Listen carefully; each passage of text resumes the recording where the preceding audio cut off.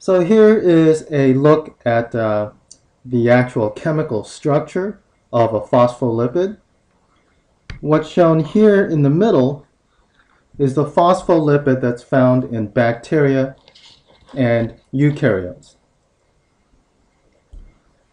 What's shown on top are the phospholipids that are found in archaea. Now, bacteria and archaea, both being prokaryotes, are very similar in size and very similar in terms of the structure or morphology. And you may wonder, you know, what's the big deal? Why do we classify them as being two separate domains of life? Well, here's one of the fundamental reasons in that their membrane lipids are completely different. So archaea do use glycerol, shown here in red. That's glycerol.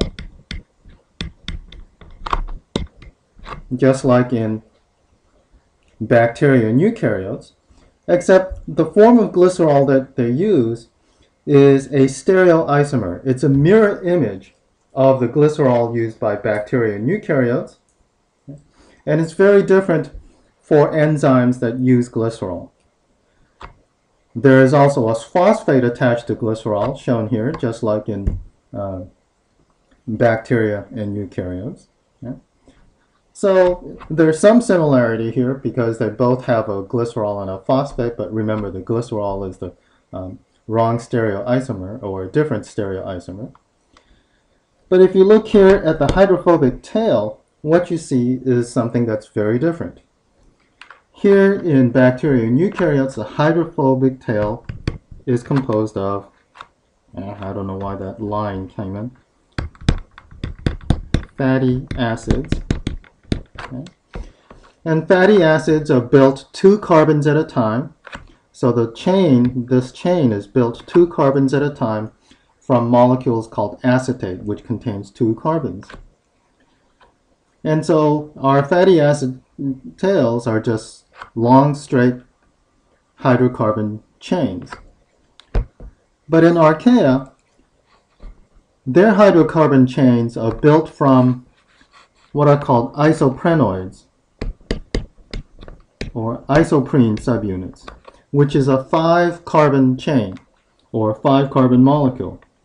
So there is an isoprene chain with one, two, three, four, five carbons. It's branched. And these are strung together.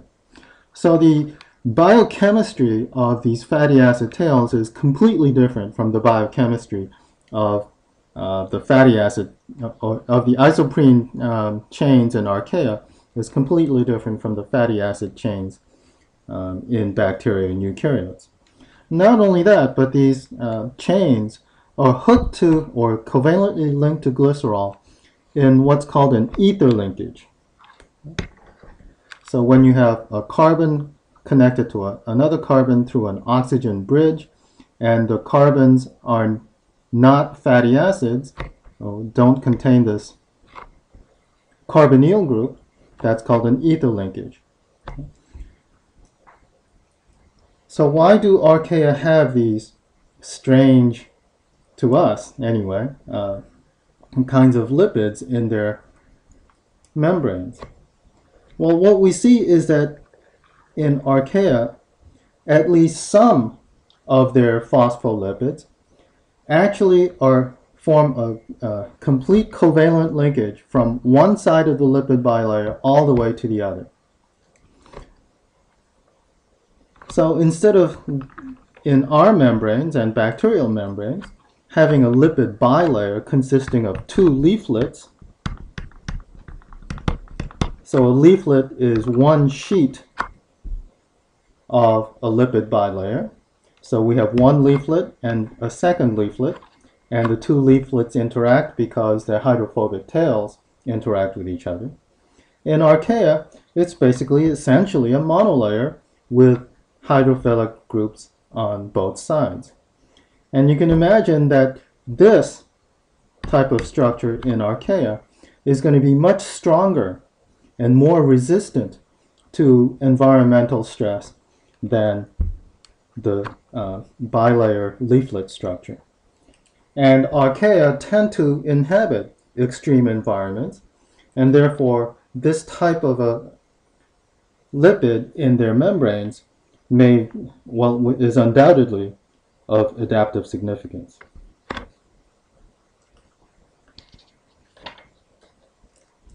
Now, when we look at variations in lipid composition, what we find is that eukaryotic cells have membrane lipids that are unique to just eukaryotes and not found in bacteria or archaea. These are cholesterol, or more generally, sterols. Not all eukaryotes have exactly cholesterol, they use other variants, but they all fall into the family of sterols, which all contain four rings. In addition, eukaryotic cells contain a non-phospholipid lipid in their membranes called a sphingolipid, shown here. As you can see, it has no glycerol backbone. It does have a single fatty acid chain. What's shown in brown is the molecule called sphingosine. Now together, cholesterol and sphingolipids can constitute up to 50% of the lipids on the outer leaflet of the plasma membrane of eukaryotic cells.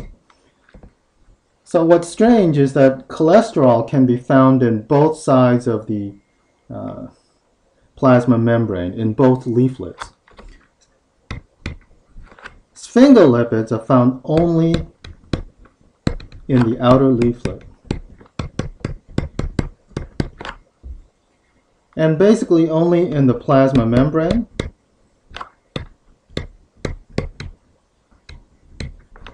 And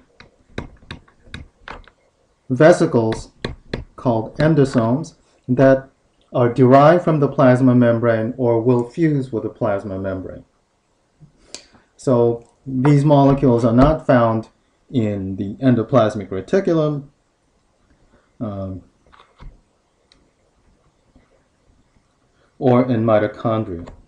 Uh, and neither is cholesterol. Cholesterol is usually found mostly in the plasma membrane as well. Oh, and the functions of both cholesterol and sphingolipids is that are that um, they both um, uh, strengthen membranes.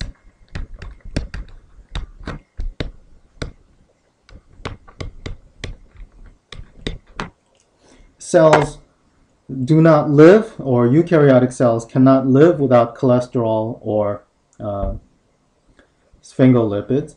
Uh, mutants that can't make these uh, die, uh, and their membranes uh, become extremely leaky. And so their uh, role appears to be in making membranes stronger, less permeable. And cells can adjust the amount of cholesterol in their membrane to adjust the permeability of their membranes.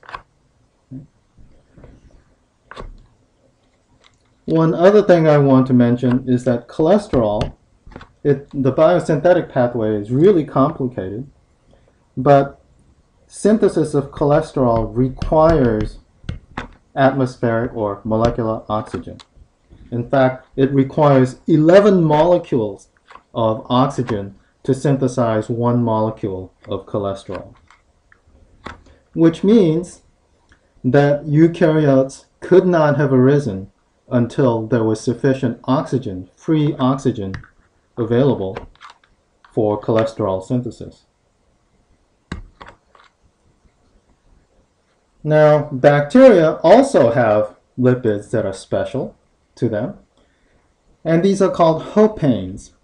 Hopanes are, you can think of them as the bacterial equivalent of sterols.